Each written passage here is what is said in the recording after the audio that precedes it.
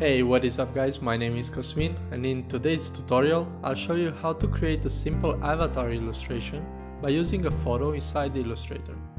Hopefully using this simple technique you can create your own avatar or do one for your client. Let's go inside the Illustrator, go to File, New, and I'm using a standard web document. The most important part is to make sure that you have uh, smart guides enabled and I also like to disable the snap by pixel option.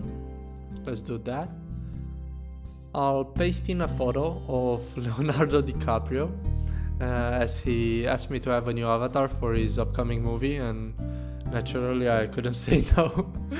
Uh, I've locked the photo in and let's zoom in a bit. I'll start this illustration by using the pen tool. My main goal being to keep it as simple as possible let's assign white for the color of the outline and start tracing the shape of his head. The only parts that will have a fill are the beard and his hair. Other than that, I'll just end up using outlines to define his facial features. I'm not aiming to get a realistic illustration, that's why I'm not worried about tracing all of the details of his head or include any loose strands of hair. The goal is to minimize the number of anchors as much as possible and get something very simple looking.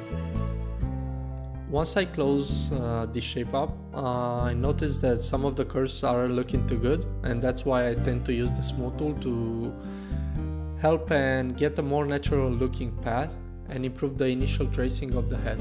I'll just click and drag on top of the existing anchors and this tool will do the rest. I'll switch back to the pen tool now and create the shape that's going to define the inside line of the hair.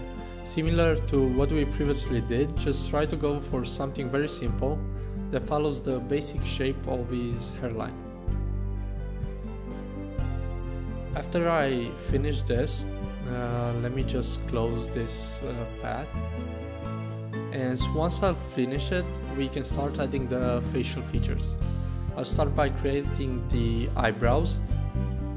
Now make sure to include the curvature of the nose a bit uh, on either side, it's up to you, I'm going to do it on this side.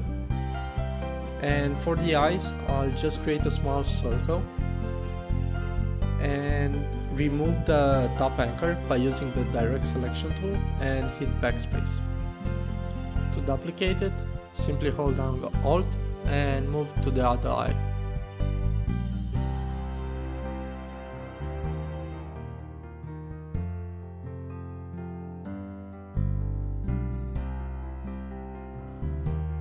I'm trying to intersect the main shape of the head with the inside outline of his hair to create a new shape so I'll copy and paste each one in front and I'll try and use either crop or intersect from the pathfinder tool.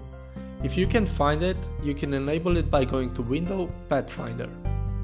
Using Intersect, I'm left with a shape that will be his and as I said in the beginning, I'll add a fill to it. Right now I'm just using a standard gray.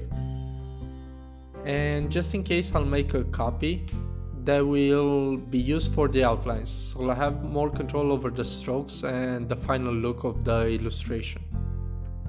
I'm pretty happy with what I have here but I would still like to increase the stroke size of these outlines. Let's go and do maybe 4. 4 looks about right. I'll also add a round cap to each stroke and now I can finally select and move everything in order to do a quick comparison. Not just the hair, everything. Uh, the first thing that stands out is the right part of his beard. Let me zoom in and do small adjustments uh, using the direct selection tool. You can have more control over each individual anchor. Also I can see that one ear is overlapping with the hair. That's not a big problem since I'll be using the same color uh, over everything. And on the hair I'll just uh, add some curves to the hair edges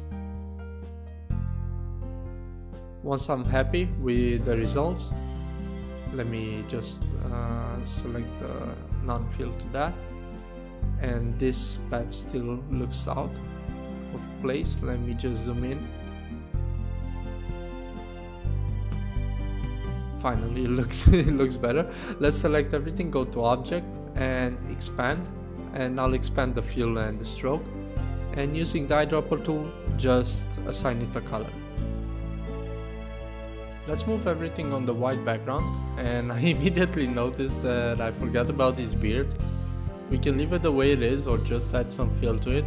I just grab the pen tool and let's create a shape that will fill that uh, space. And this is the final look. But now that I look again at it I still want to do some changes so this is not the final look. I'll create a I'll probably just use a different color and rotate his eyes the other way around and in the end this will be the final illustration now as I said in the beginning this can be used as an avatar and you should be able to have similar results by following the rough outlines of any photo. Don't forget to like the video if you enjoyed it and subscribe for more. As always, I'd be more than happy to answer any questions you might have in the comment section below. Until next time, take care guys.